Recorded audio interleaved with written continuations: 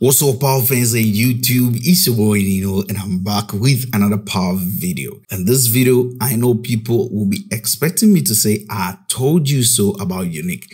But I'll be talking about episode 10, why Unique is back, and why Raquel killed Howard, and how Howard's death is going to change a whole lot of things, and basically touch on every scene in episode 10. And of course, if you're new to my channel, you're welcome. Kindly hit the subscribe button, like, share, leave your thoughts in the comment section below. Now let's get straight into the finale. I won't pretend unique is a topic to skip, so I'm going to start a video with that. I hate to say I told you so, but yeah, it is what it is. I expected this a month ago after rewatching that beating scene over and over again that if you are a killer, you will kill well and the consistent wordplay by the writers where Ronnie first said his brother is going nowhere, to him telling Jukebox he's taking time off, to Vanessa saying how protective Ronnie has been over Unique since he was a child alone, did the math for me. That moment I started thinking about the writers and not the characters playing what the writers write. Sometimes I know we all forget there is one cool sober individual behind the scene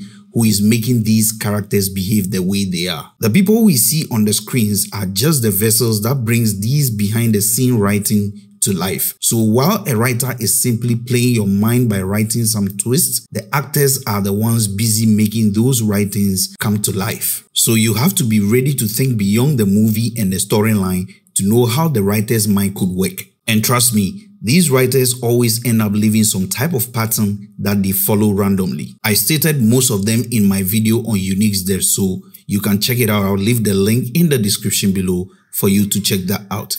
I also gave a detailed breakdown on how that beating Ronnie gave Unique cannot kill him. Because that metal was not a heavy metal like I said. The shop is a fashion shop and not a tool shop. There is no reason for a heavy broken metal pipe in a fashion shop in a bin. Now, why did they play Unique the way they did? Joey Badass or Unique was indeed going on tour and things need to work for both him and the show so there should be some agreement. There is no way they will show four episodes without him and fans will not wonder what has happened to him since Unique is a round character. So to hibernate him for a while so he can concentrate on his tour, they have to make his temporal exit look good enough for his coming back to be epic. So to me, it wasn't surprising when that scripted interview was released immediately the episode was aired. What gave it away for me again was that TMZ interview when Joe said we should petition 50 Cent. I'm like, if you are truly dead, why do we need to petition that? And why will a dead person have to do an interview to confirm he is dead before we believe it? Even Omari, who played Ghost, has never confidently said his character was dead. He says so many things about money issues because you all buy that yes, Omari's exit was financial purpose until today. That has been the main agenda. If you think about Ghost or Umari now, you will think about money issues and let it slide. Same way when you were thinking about Joe Badass or Unique, you were thinking about his tour, etc. This is a game. It is bigger than what we think. I heard some people saying the writers confirm Unique is gone. Even Joe Badass did it. He posted it on his Instagram that he is gone, etc. Which writer in his right senses will come and tell you differently from what he wanted you to believe. They always stay according to the script even in their normal lives. And what you don't know is that there are people in this production cycle who are assigned to think about how to promote the show and get the numbers. That is their job and they'll go every length to do a lot of make-believes, trust me. I am confident that the interview with People's Magazine was scripted and it never happened. It is not all evidence that are legitimate. This is internet. People can write whatever article they want and you can't punish them. I can choose to write an article on seeing God physically and some people will believe whilst others will not believe. So trust me, if you want to follow every publication, you end up judging people quickly. And I personally don't believe all these actors simply because of one thing, the confidentiality clause in their contract. And I believe I talked about this constantly in my videos. So you know. So until you see power as business beyond just a show, you will always be played all the time. So what I just want you to do is just give me my flowers and let's move on. now the finale was titled Made You Look this alone made me have confidence that Unique wasn't dead. Now, the title was concentrated around three people Raquel, Kanan, and Unique. Kanan made Raquel look while he took out Ronnie, something Raquel couldn't believe Kanan can do. It's a way to prove to Raquel that Kanan is no longer the scary little boy she knew and also can shoot to kill. Raquel then made Kanan look at her took out his biological father the way she wanted him to do long ago and he messed up. This scene is very significant to these two characters. Now the writers also made Unique look at the same person who thought he had killed him now dead on the floor and for we the audience to also see. So for me, the moment I saw this point of view shot through the car was when I knew someone was watching Raquel Kanan and Marvin leaving the place. And for them to cut back to the inside now tracking the bodies from Howard to Ronnie, I knew something was up. So the moment I saw the leg, I shouted Unique is back even before they tilted to his face. Now this is a way to end a season. No wonder the season was renewed before it was even premiered. Let me know what you also think in the comment section below. Now, let's talk about Howard. The moment they took his gun and his badge from him, I knew he wasn't going to make it. Do you know why? The same thing happened to Detective Berg. Not long after the captain took her gun and badge, she was killed.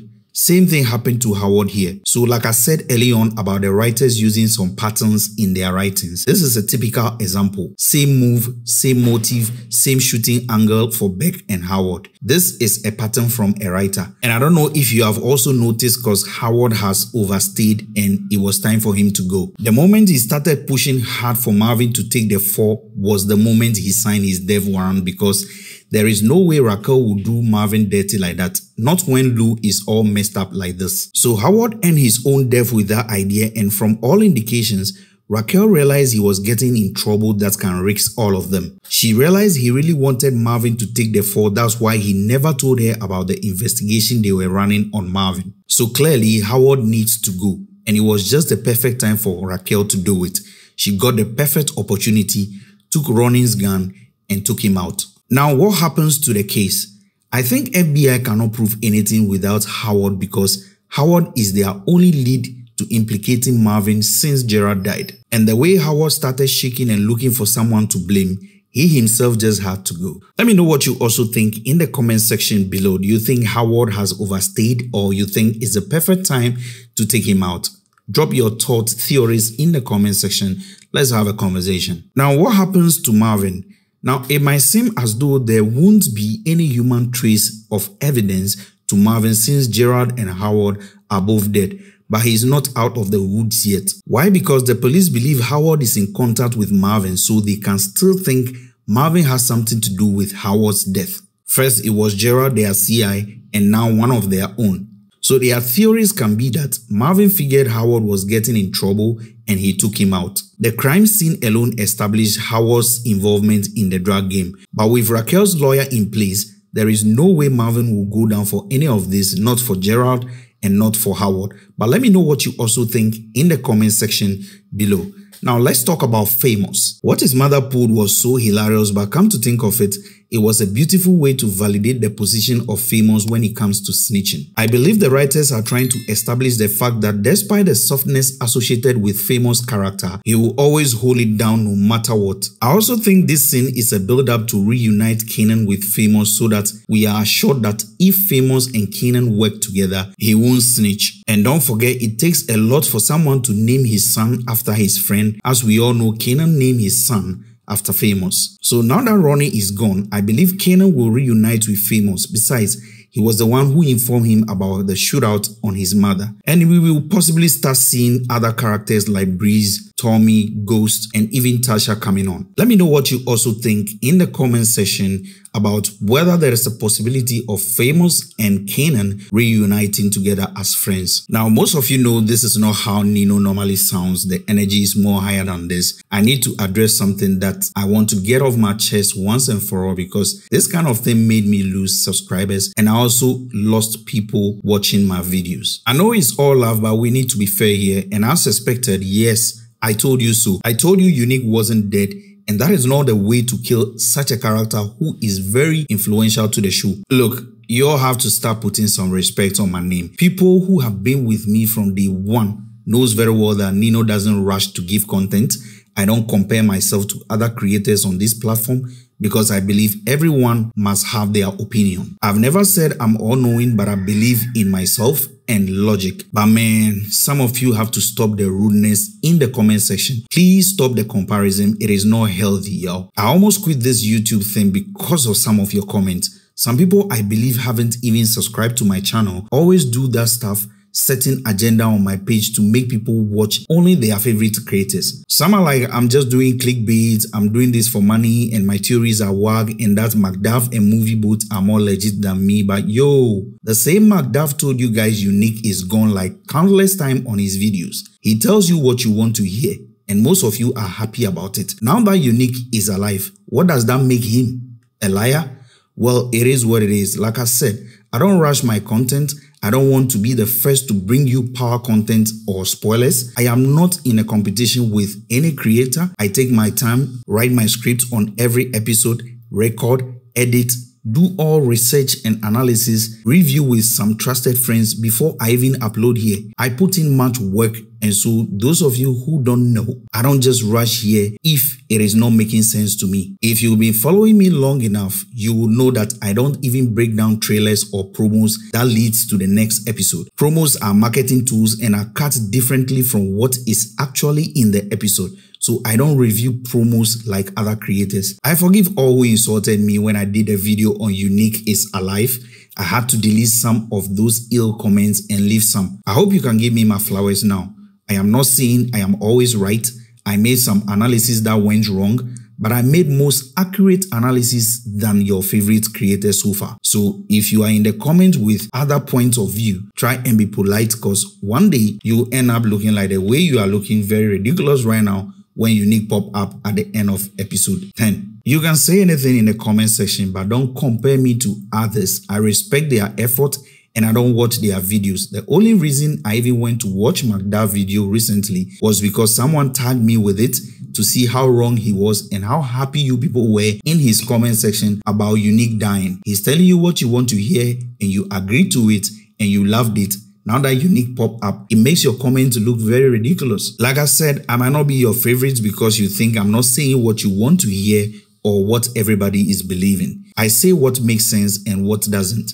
If you ever understand writing, plotting, movie making and film, you will have an open mind to things. And like I always said from day one, Ghost is still alive and I still stand by it. Whatever others say to you is their opinion. This is mine and one day you will find out that too. Peace to everyone. It's all love, but you have to respect my efforts moving forward. If you are new today and today is your first time watching my video, welcome to the family. I just finished a family discussion and I know you are lost, but don't worry. It's all love here. If you like this video, don't forget to hit the subscribe button. Most importantly, leave your thoughts in the comment section. Catch you in my next video. It's your boy Nino. Thanks for watching.